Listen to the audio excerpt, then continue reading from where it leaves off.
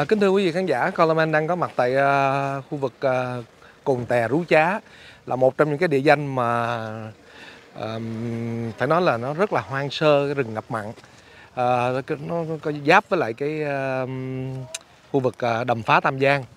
Thì hôm nay mình về đây uh, để khảo sát cho một cái chương trình uh, mang tên là 72 giờ. Dạ. Chắc là quý vị các bạn vẫn còn nhớ là Coleman đã từng có ý tưởng làm một cái chương trình là 7 ngày. Đó, 7 days nhưng mà trên thực tế thì mình nghĩ 7 ngày nó rất là khá dài. Và bây giờ thì mình à, đổi thành 72 giờ tức là 3 ngày. À, mình dự kiến là mình sẽ tìm những cái à, địa phương mà còn rất là hoang sơ và ít người khám phá. Và những cái nhân vật mà họ sống như là rất là lẻ loi rất là đơn độc. Chúng có thể nói họ là Robinson á. một số người hay là gọi Robinson. Thì à, hôm nay mình đến đây cũng để về thăm hai ông bà cụ à, gọi là mà một, một số um, bạn trẻ hay là hay nôm na gọi hai ông bà là Robinson của Cồn Tè Rú Chá. À, à, hai ông bà um, Nguyễn Ngọc Đáp. À, ở đây thì à, mình thấy hai bên là nước đó rừng ngập mặn mà nên là nước nó uh, ấy nhưng mà cũng rất là may là mình ở đây trên cái đường này thì có cả có một cái đường bê tông trước rồi. À, phong cảnh thì ờ, nó đẹp nó phải nói là nó đẹp một cách gọi là rất là hoang sơ rất là tự nhiên những cái bụi cây bên đường vậy các bạn thấy ha nó rủ rủ rủ xuống dưới mặt nước. Mà nước thì rất là trong rất là sạch nha. Đó nhưng mà nhìn xuống ta thấy có thể thấy đáy nước luôn thấy đá bên dưới luôn. Đó mặc dù là ngập mặn nhưng mà nước rất là sạch.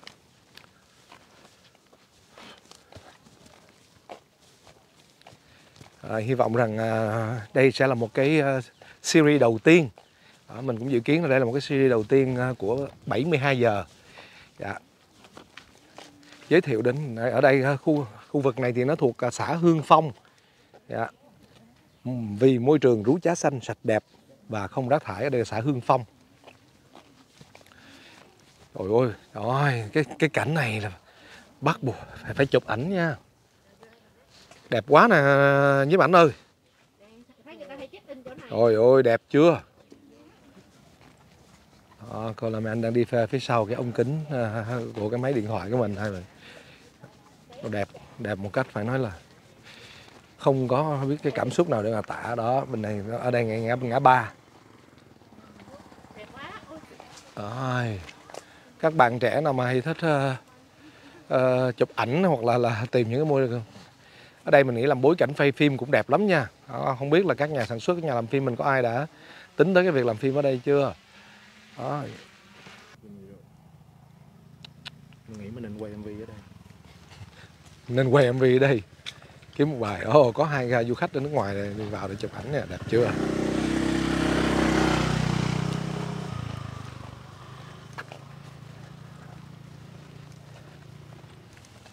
Rú chá thì uh, cái cái tên rú chá nãy mình cũng ngồi mình nói với hỏi cho mình hỏi chuyện với một cái anh tài xế ở địa phương. Thì anh cũng có nói rằng là uh, rú chá đó rú thì uh, mình vẫn hay nghe cái từ là rừng rú đúng không?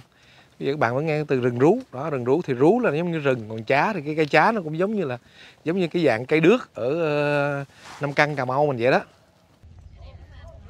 Nghĩ rằng đó là căn nhà của uh, cô chú uh, Nguyễn Ngọc Đáp. Bây giờ cái mình vào mình trò chuyện với cô chú. Thôi dạ quý vị các bạn nghĩ như thế nào? Nếu như mình sẽ uh, sống ở đây trong ba ngày ba ngày ba đêm à, sẽ có rất nhiều điều để kể với quý vị các bạn ha. À, cô chú làm cái gì sống sinh sống như thế nào ăn uống cái gì công việc mỗi ngày của cô chú ra sao. À, thực sự là thú vị.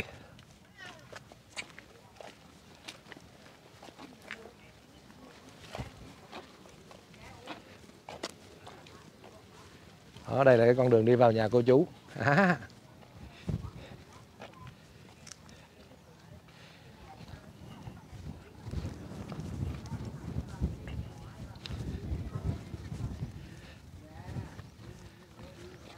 cái cái cây đó họ gọi là cây chá đó. Mấy cái cây này là là, là, là cây chá nè. Ừ hình như vậy đó.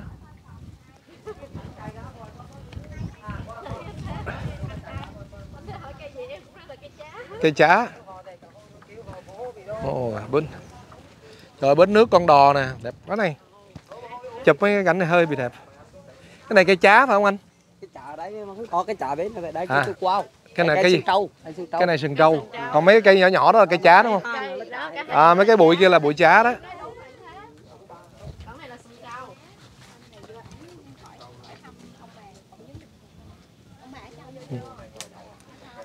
Dạ đây là nhà của ông bà.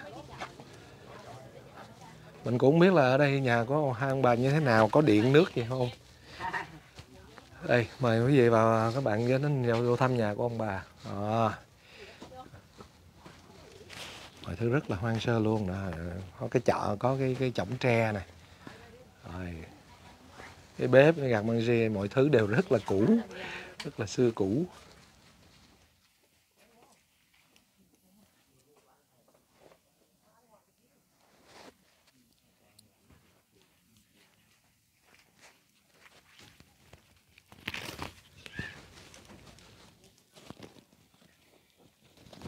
dạ được đi ba dạ.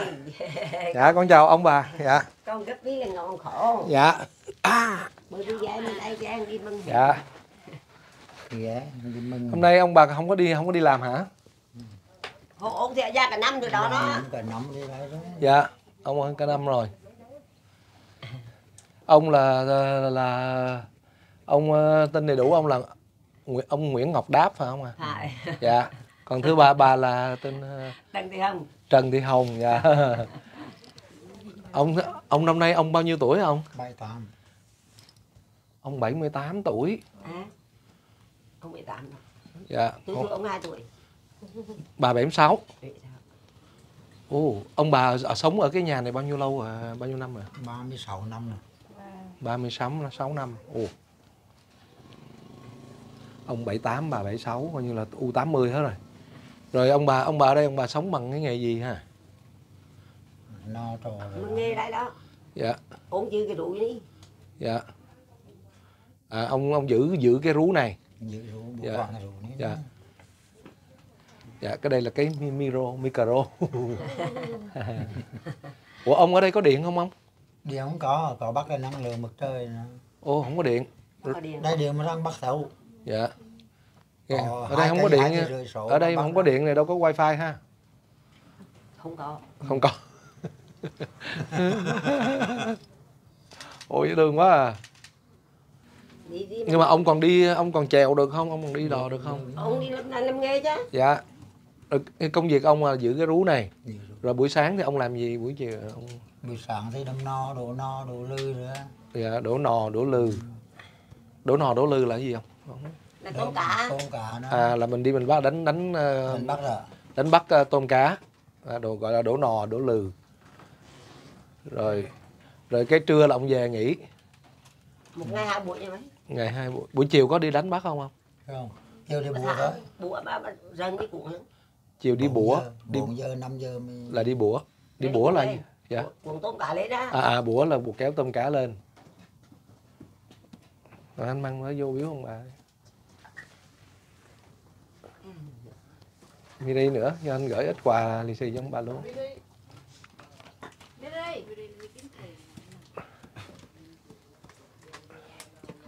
Dạ gửi bà cái nước uống ờ, của của con làm đó. Chút xíu con gửi qua bà thêm ờ, thêm ít ờ, tiền mặt nữa. Dạ. Con tính làm cái chương trình. Biết rồi. Dạ. Ông ông biết chưa? Biết rồi. Dạ. Giờ ông chứa con ba ngày đêm được không? Ừ. con ra đây con ở với ông ông bà ba ngày ba đêm. À được chứ. Dạ xong rồi cái ờ, sáng ông làm gì á? Sáng ông sáng ông dậy mấy giờ? khâu rồi mà Anh có điện này anh có nước này dạ đây. Dạ đây con cũng có nè. Dạ, nước không có kính nè. kính gửi ông ờ, bà dạ chút quà. Điện không có nước không có vậy tắm sao không? Ừ. đấy vậy tắm làm sao? Tắm Bốn lan có à? bốn lan Ờ, tắm phải bốn lan vậy. nó lấy nước bể nước mưa nữa tắm. Dạ. Ừ. nhưng mà bây giờ ông ông bà ở đây quen là mấy chục năm ở đây không có vô được dạ. Chứ bốn lan ở cũng được. Dạ vô chỗ lạ ở không được. Ông bà có con cái gì không? Con của cháu con là cả bay lan mười đứa lần còn 10 đứa. Mười đứa lần mười đứa ờ mà rằng gia mình ở đây. Dạ. Bên đi quàng bên đi quàng dạ. Mà hạt đánh đồ râm râm rồi mai ngủ được. à, bởi con con tàu này ôn vô gia ở chứ đó này không tao ở đó cái mua chết đem qua đó trông dạ. tức là ở trong cái ồn quá ông bà ngủ ở không được. dạ. Chết cha vậy con tính mang luôn cái dàn karaoke ra đây làm sao trời? Tới giờ tối mà ở đây buồn quá làm gì giờ trời? Mà không có điện không có điện cũng quân không luôn. Có điện. Không có điện. Ồ rồi rồi à, ngoài ngoài chuyện mà ngoài cái đã đi đánh bắt tôm cá rồi ông còn ông còn làm gì nữa không? Còn làm ruộng trưa nữa chứ làm ruộng ở đâu không? Làm ruộng ở trong đấy. À. ruộng lúa hả? Ruộng lúa. Ồ dạ. Mình làm lúa mà ăn thôi chứ còn đi mua là mình không mua ăn rồi. Ồ hay quá. Ở đây cái mùa nào đẹp nhất không ha? Mua tháng bảy á. Tháng 7 Bữa đi chơi đẹp mà. bảy âm mà âm lịch á chứ không phải là, là là tháng 7 âm lịch Có tháng 7 mình á là tháng bảy âm lịch á khoảng cỡ hai mươi Ừ. nó quay lên rồng lá vàng là đỏ ồ Bắt đầu ra hoa. rồi bắt đầu là cỡ đầu tháng 8 á, là bắt đầu ra hoa vàng dạ. Chỉ được một mai nữa. là hết cả cái rú chả Bữa những đẹp. bữa nay ờ, chưa không đẹp hả vậy nè. ngày qua có đoàn Sài Gòn ra Có 25 người đâu. 55 người dạ cũng ra thăm ông bà ra đi du lịch chơi Chơi. Rồi ông ông chèo ông chèo cái cái xuồng chở đi vậy hay sao? không chưa dạ. Ông đi cái bồ rồi hết. đi có bộ à, đi bộ rồi, vòng vòng đó thôi. rồi qua bên cầu Tâm Giang ở bên ờ, Cửa Thuận nữa nè. Dạ. Cái cầu này làm dự án làm ờ, hình như 3 năm rồi dạ. Ồ con ông con ông bị một bên mắt trái ông ờ, lâu rồi. chắc thương binh hồi xưa hả? Thôi thôi ngụy đó dạ dạ. Ông con này cho mày. Dạ. Ông không còn chứ mấy. Còn con cái này mới sống đấy thôi con không còn. Hai con thì chết rồi con mình còn một con mới sống. Hồi trước chiến tranh thì rồi đó. dạ. Tôi bị năm ờ, bị hai. À, 72 vậy là trước mùa ờ, trước. mùa đồ lửa à, đổ lửa năm 72 dạ.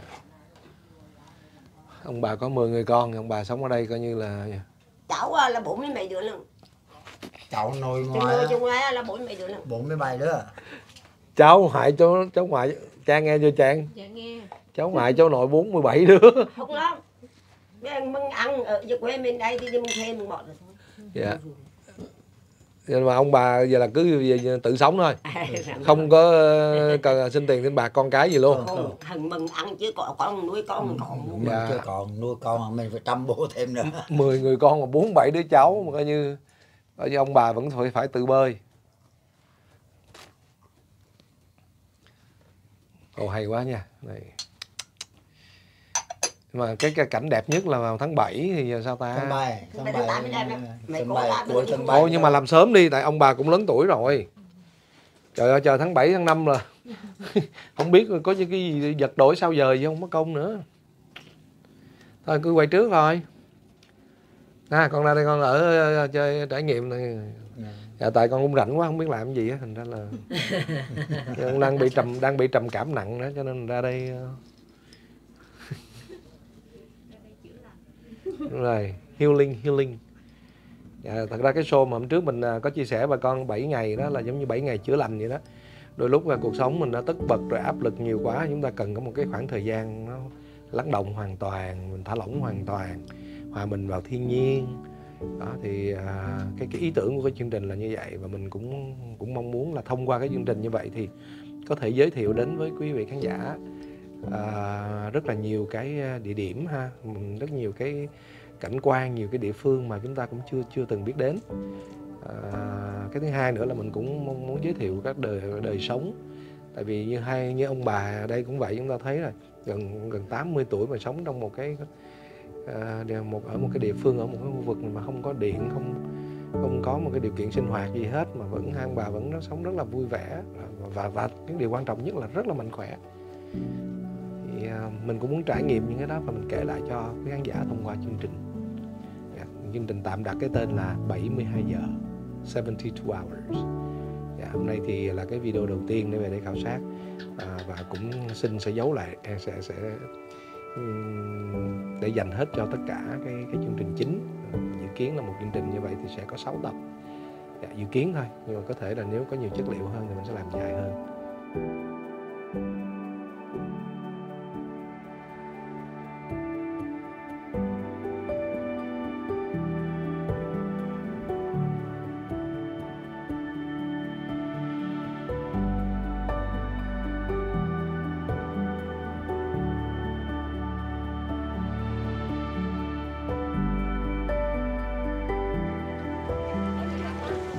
Con xuống nhau ha.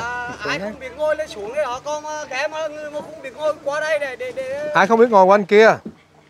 Còn đây cô không biết ngồi ngồi đây. Ông ông ông đứng sao? Ngồi đó. À ông ngồi đây. Ngồi đi ra nữa. Con ngồi đâu? Ngồi đi ra con còn mù muốn ngồi đây ó muốn ngồi đây ngồi nữa. À o o ờ. thôi con mà mình con được rồi. Còn o nào? Có o nào sản xuất xuống đây ngồi nè. Thôi anh anh với ông thôi đúng không? Rồi ok à, kính chào quý vị khán giả. À, bây giờ thì mình sẽ à, cụ à, cụ à, Nguyễn, Nguyễn Ngọc Đáp sẽ đưa mình đi tham quan một vòng ở cái à, cái khu vực rú này à, để à, ờ, ông năm nay 78 tuổi mà ông vẫn còn chống chèo chống được luôn.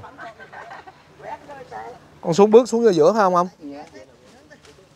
Bước sao ta? Bước sẵn vô đó à chà oh, wow con ngồi đây luôn hả? À, ngồi đó. Ồ oh, dạ con ngồi quay lại vô. Rồi. Còn ngồi, ngồi. anh ngồi trợ mặt tới anh ngồi ngược trở là khó lắm. À vậy hả? Ông ôm núi sau á này. Anh ấy kéo ghé đó giờ rửa ra mua Dạ, rồi, rồi, rồi, rồi. hay là bà đi chung không? Không. Không. Mua đi, rồi, con đi với ông thôi. Rồi con đi với ông con nói chuyện với ông cho vui. Rồi rồi rồi. Đấy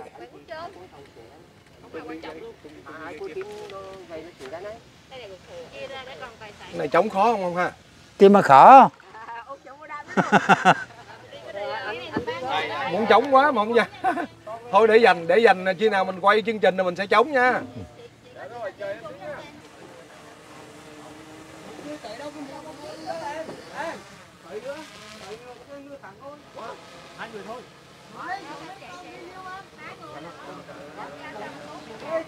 Cái cây này cây bần chua nè. Cái băng chua đó ủa đây ở đây nhiều cây bần quá không ha? Ừ.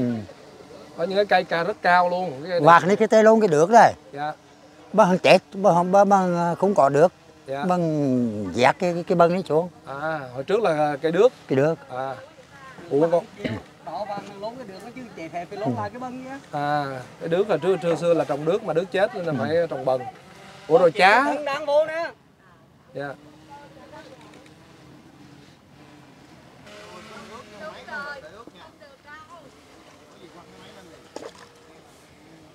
có người ta bắt cái giấy lên chỗ này.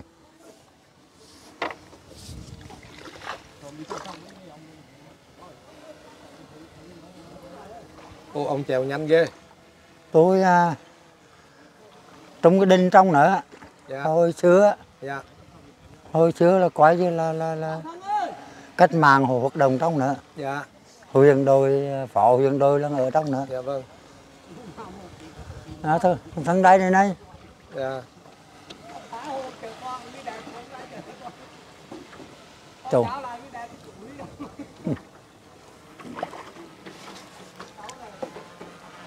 Qua như à, dạ. thời thời gian mà chế độ ông Diệm á, dạ dạ. Mà học tập à, là tổ tổ cộng á, bằng khái dạ dạ. Cái nào mới bắt giờ cái đinh. Hay ra ria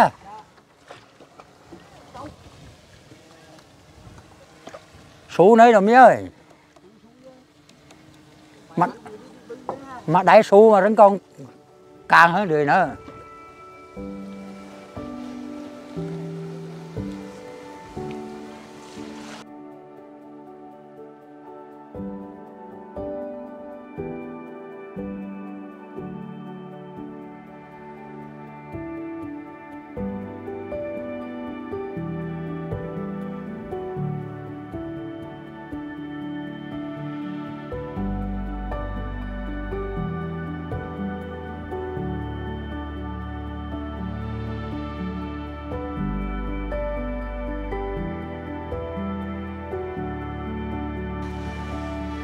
Dưa đây trong à, đây này.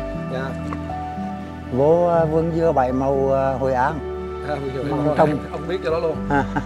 Tôi mà đi mà ra vừa, mà vừa rồi đó. À ông đi chơi hả? Đi với đoàn nữa à đi với đời mà trong nữa hàng tỉa canh. Dạ.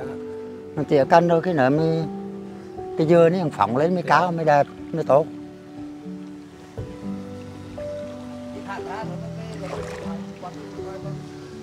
à, ta đi về đi rồi ta đi ra mà. À, à, đi về. Đi về đi rồi mới đi lên. À, nó giống như mọi thứ nó đều rất là nguyên, nguyên sinh.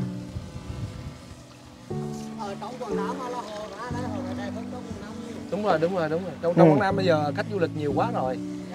Vâng. à, à, mà quảng nam đâu cái vườn dưa vườn dưa bảy màu nữa mẫu đó dạ, mấy sàng mô dạ. mấy sàng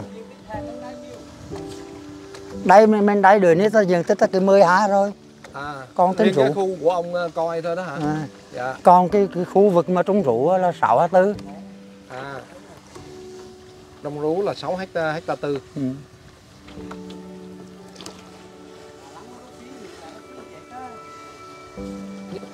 Thằng trực tạp đấy mới nói mà cái mùa này ít cá à, Thằng trực tạp để bố cù á để bố lạc đưới á Dạ. chết chứ đồn trực tạp thuộc báo nữa thầm lâu lắm.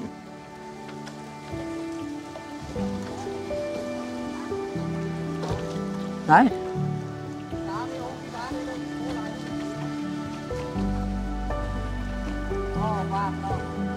Ồ, đẹp quá. Đi ra cái sườn xe no cận trốn được đấy chứ.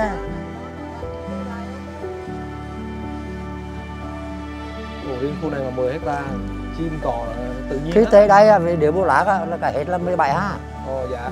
Mà dưới nữa là cho cỡ 72 thôi mà Dạ. tụi bị trong đó rồi dạ.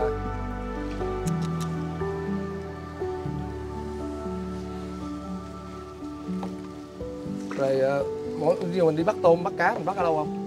Cũng đi dọc dọc cũng là dọc đi. Rồi ông thả lưới xuống. Cũng thọ lư à, thả lưới xuống. Ồ. Lại là cả thôi con tôm cua là lư dạ lại là cá tôm cua là lừ. Bởi tôi một năm mừng ít cho ruộng mà ăn. Mấy đứa con không cho mừng. Dạ. À, mà tôi lên mừng á, là còn cái á. mày không bơm thuốc bơm men mình mừng ruộng mình ăn là mày không bơm thuốc bơm men. Dạ dạ. À, mà đi mua dạ. họ ăn là thôi dạ. ăn mình lục tặc. Dạ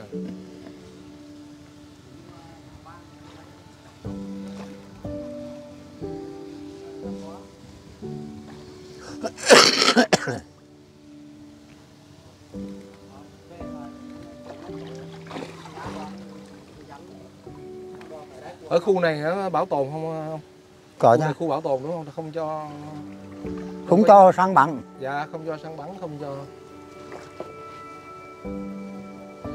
Ở bên phía này là gọi cái này là gọi là cái gì đó không? Đêm no lư tôm cá đó Dạ, cua đó. tôm cá trong đó là mình vô mình bắt đó. Dạ Ồ, là lúc mà là mỗi ngày ông ra đó ông lấy đó hả? Ông ờ, con đây của chủ khác. À chủ khác dạ. tôi trên tài nữa thôi. Dạ.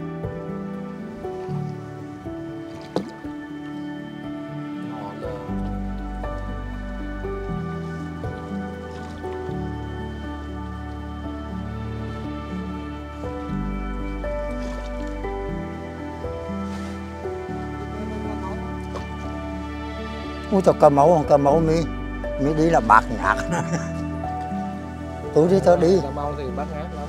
Tôi đi đi cũng nhiều chỗ rồi. Ủa, ông có về Cà Mau bao giờ chưa không đi cầm mẫu mấy được rồi.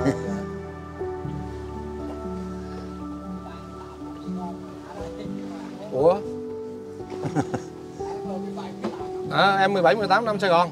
Wow. Vậy hả à à. Về đây đó thấy dân trong à, dưa xưa cây rừng tột còn cao rồi. dạ.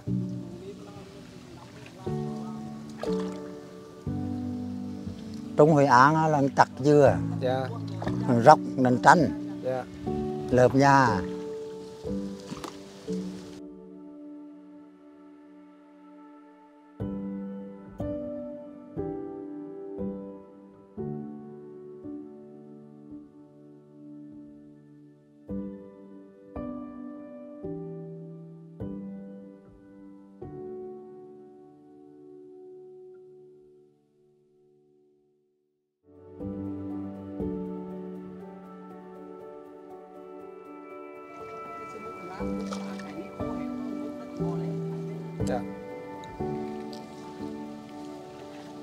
đó quý vị các bạn thân mến à, à, đây là một cái hình ảnh à, những cái hình ảnh ban đầu ở trong cái chuyến đi khảo sát cho chương trình 72 giờ 72 hours.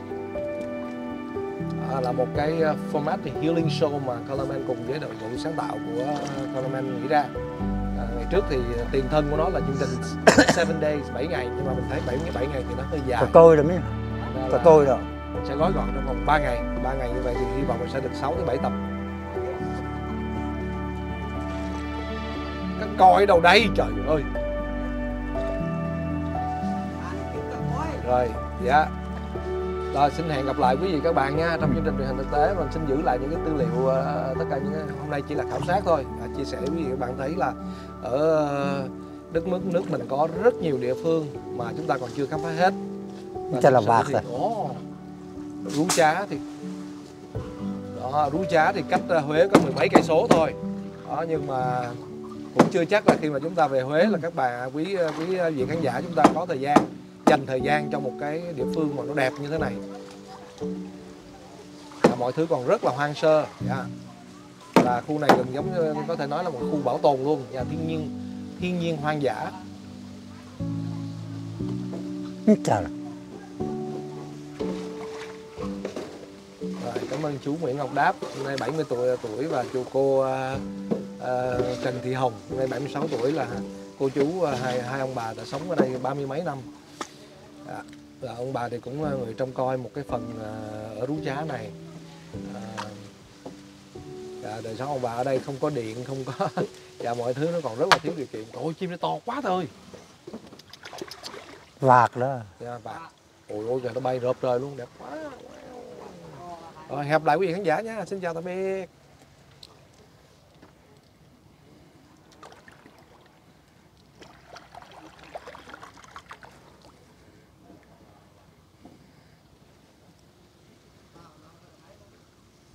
rồi.